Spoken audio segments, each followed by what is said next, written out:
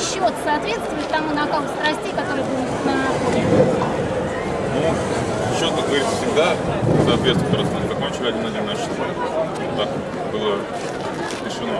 Ну, в принципе, Спартак хорошая команда, очень внизу хорошо играет, подстраивает друг под друга. Ну, хорошая команда, не зря они там тоже вверху, все обученные. Тяжело очень с ними было, больше, наверное, даже бегали, как бы, ну, подбирая мяч, но в то же время хорошо кон- контратаковали, ну и сами пытались навязать свою игру, где-то получалось, где-то нет. В принципе, ничья нормально, но хотелось бы дома всегда выиграть.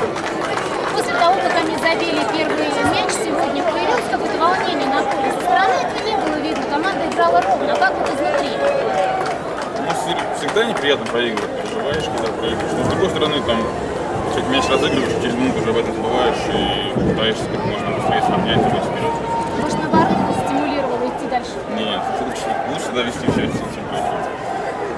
Скажите, вы сегодня выступали э, перед своей публикой, много очень зрителей было. Это как-то подстегивало к победе? Я вообще, наверное, первый в жизни столько народу, чтобы у меня было ну, в моей карьере.